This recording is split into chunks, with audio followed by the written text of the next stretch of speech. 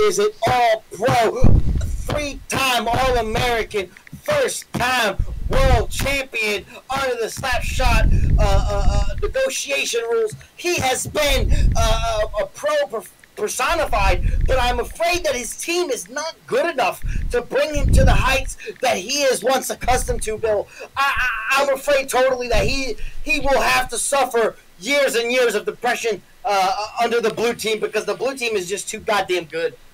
I can see that, Con. It just comes down to the game's changing. It always changes, and that's all. We just have to adapt. That's all we can do. I can see that, Cotton. I totally got to agree with you. We're I going down geez. to the coaches on the bench now. I'm sorry to interrupt, Bill Cutter. This is breaking news. Coach, what did you have to say after tonight's game? Well, after tonight's game, we're going to go ahead and be releasing Neil Rackers, the Giant, Pants looking for Litecoin.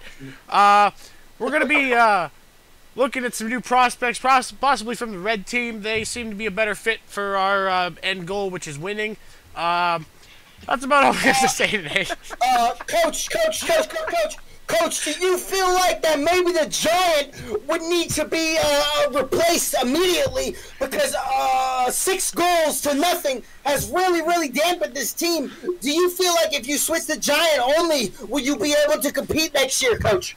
Well, here's the thing. I'm gonna, I'm gonna be, I'm gonna shoot straight with you here. We're, uh, we told him to go fuck himself, and he needs to resign from the NHL. he does not deserve a place in the NHL. He, just, it, the net is not for him. Maybe on the bench behind with the water bottle, eh, that might do him doing well. Now, as for Pants and Rackers, they just they seem to have the chemistry. It just doesn't seem like they have the stick skill down uh, at this particular time. Um, the red team could probably train them pretty well if if we become friends with them, but I, I don't really think that's gonna happen because they're assholes. Um, blue team, uh, blue team is just falling apart this year. We're gonna have to reset next year. Um, any further questions? Coach, there's one last question here we have for you. Neil Rackers once was on schedule and was on pace to break the great, the great Neil Crosby for his goals in an off season with mixture with uh, a talented uh, roster. Do you believe that Neil Rackers once again can come back and dominate like he once did with your team, Coach? Yeah, I, I feel like that's definitely possible. We're gonna probably they're probably gonna have to go back to the prospect leagues for a little bit, another season or two. Um, I feel like once they get the stick skill down and they get the you know we get a better goalie, maybe maybe Rivera's brother, but but uh.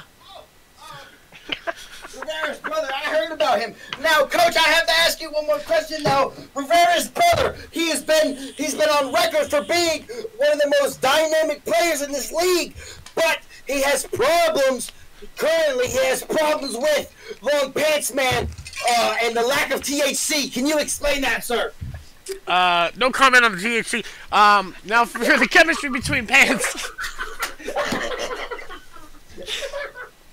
I feel like if we give Rivera's brother a chance, I don't even know what his name is. If we give him a chance on the forward position, we might be a little bit better. We might put Pants in the pocket, and we'll we'll see what's going on with that. I feel like maybe we might give Pants and Rackers one more chance, and we'll see what happens here. But we're gonna tune in next time on that one. No more, no further questions. That's that's all I got today. Copy that, coach. I say we get to the next game. What a fine game? Is that?